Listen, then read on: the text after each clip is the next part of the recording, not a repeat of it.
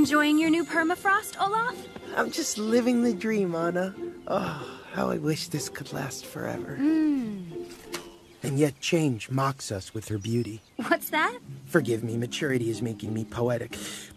Tell me, you're older and thus all knowing. Do you ever worry about the notion that nothing is permanent? Uh, no. Really? Wow, I can't wait until I'm aged like you so I don't have to worry about important things.